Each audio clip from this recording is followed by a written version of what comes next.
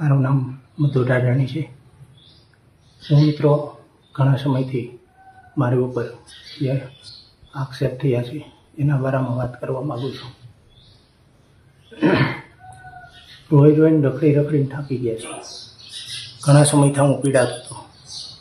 No doubt મારી ઉપર રેફનો case થયો છે. કલમ લાગી ગઈ છે મારી ઉપર રેફની પણ હું પોલીસને અને બધા આગેવાનોને સમાજના નમ્ર વિનંતી કરું છું કે આ મીડિયામાં જે ચાલ્યું છે કે કલરનો કોન્ટ્રાક્ટર પહેલાં હું તમને સ્પષ્ટ આફત દેવા માગું છું અમુક બાબતની, કે હું કોઈ કલરનો કોન્ટ્રાક્ટર હતો જ નહીં છાત્રાલયની અંદર. કલર કામ ચાલુ હતું, એનો ફક્ત હું ધ્યાન રાખતો હતો.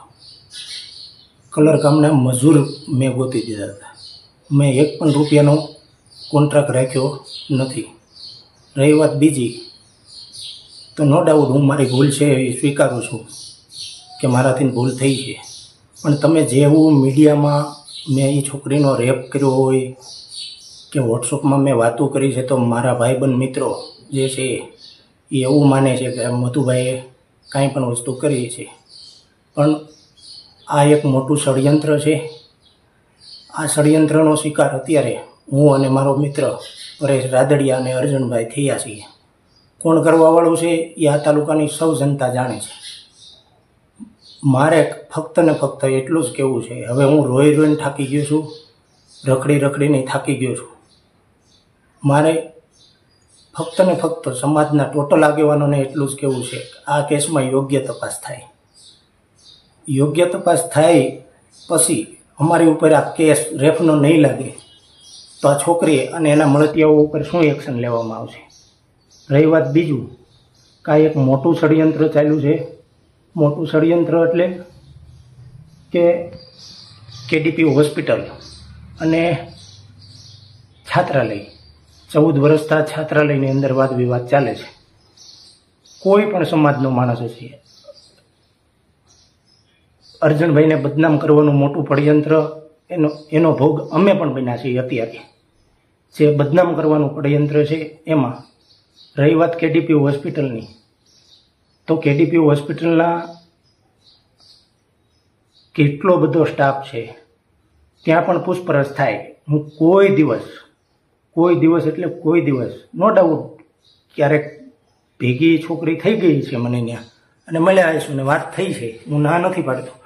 પણ કેડીપી હોસ્પિટલમાં લઈ જતા આ કેડીપી હોસ્પિટલ અને ભરત બોગરા, હરેશ પરવાડિયા અને અર્જુનભાઈ રામાણીને આ બદનામ કરવાનું મોટું પડયંત્ર ચાલે છે મિત્રો.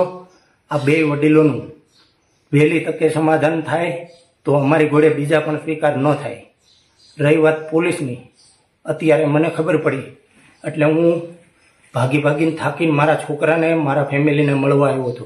મેં મરવાનો પણ વિચાર કરી લીધો હતો કે હું મરી જાઉં. પણ મારી ઘરે મારી ઘરે આવતા બધી વાત મેં કરતા, મારો છોકરો ચાર વર્ષનો છે, એની કસમ ખાઈને કહું છું કે મેં છોકરી હારે રેપ નથી કર્યો. મેં નથી બીજું કાંઈ કર્યું. મેં ખુદ એના મામાના છોકરાને વાત કરી છે.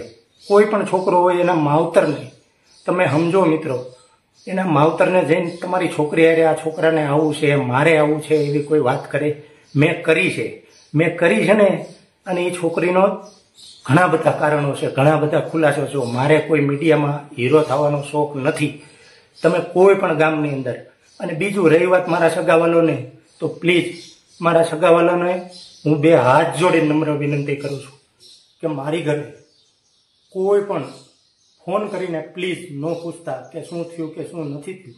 મારી ઉપર જે આક્ષેપો લાગ્યા છે, એ સ્પષ્ટ અને ચોખ્ખા ન થઈ જાય.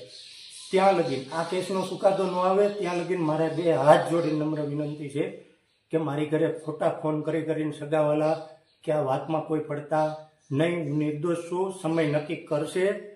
કોણ સાચું હતું અને કોણ ખોટું હતું? રહી વાત બીજી કે તમે સામેથી હાજર કેમ ન થયા? તમારી ઉપર ખોટા આક્ષેપો હતા. તો મને અર્જણભાઈ રામાણીએ એવું કીધું હતું કે આ રૂડા ભગતનું મોટું પડયંત્ર છે. એટલે તમે ચાર પાંચ દિવસ લગીને ક્યાંય હાથમાં આવતા નહીં. હું એટલા માટે બહાર નીકળી ગયો હતો. પણ અર્જણભાઈને ખુદને નહોતી ખબર કે અમારી ઉપર એ આવડું મોટું પડયંત્ર થવાનું છે. અને એના સ્વીકાર અમે પણ થવાના છીએ. રહી વાત રાજકીય. તો રાજકીય ક્ષેત્રે અમને ભ્રષ્ટાચારમાં અને લોકોના કામ કરવામાં સિવાય અમને રસ નથી. અમે ક્યાંય પણ અમારી ઉપર એક પણ રૂપિયાના ભ્રષ્ટાચારના આક્ષેપ થયા નથી અને જે સંબંધો અમારે જે મોટા મોટા લોકો સાથે છે એ મને દિલથી ઓળખે છે. બે હાથ જોડે નમ્ર વિનંતી કરું છું, હું કઈ ટાઈપનો માણસ છું, કઈ ટાઈપનો છું, પણ મારા ભાઈને હું હાજર થવાનું એક જ કારણ મારે હવે છે. આજ સાંજે હું હાજર થઈ જવાનું છું, હું મારી ઘરેથી બધા મેમેન માંડ માંડ બસી બસીને મળવા માટે આવ્યો છું. હું સાંજે મારી ઘરે હાજર થઈ જવાનો છું, હાજર પોલીસ સ્ટેશને ફોન કરીને કહેવાનું છું કે મારી ઘરેથી જ મને લઈ જાઓ. મારા છોકરાને અને આ બધાને હું મળવા માટે આવ્યો હતો મારા ફેમિલીએ મને ખૂબ સપોર્ટ આપ્યો છે. એટલો બધો સપોર્ટ આપ્યો છે એમ જ કીધું છે તાર જીવવાનું છે. મરે આપણા દુશ્મનો. આપણે શું કામે આવું કરવું જોઈએ? તે કોઈ વસ્તુનું કર્યું નથી તો લડાઈ લડ અને હાજર થઈ જાય સામેથી મારા ભાઈને નથી તમે લોકો મદદ કરતા ને? પણ મારો ટેસ્ટ થશે. મેં રેપ નથી કર્યો. મેં વાત કરી છે છોકરી જોડે. હું મારે મીડિયામાં હીરો નથી થવા અમુક વસ્તુની સ્પષ્ટતા નથી કરતો, પણ મારા બધા મિત્રોને મારા ઓળખીતાઓને હું નમ્ર વિનંતી કરું છું બે હાથ જોડીને નાથું નમાવીને નમ્ર વિનંતી કરું છું કે મારા ભાઈને ખાલી સપોર્ટ કરજો, પૂછજો કે શું થયું, શું નહીં, એટલું પૂછજો. મારો ભાઈ થાકી ગયો હતો મારા ભાઈને એટલી બધી ખબર નહોતી પડતી, એટલે હું હાવ અને અમે કોઈ વસ્તુની અરજી કાંઈ નથી કરી. જે લોકોને મેં કામ સીંધું હતું, એ લોકોએ આઘા ભાગ્યા છે.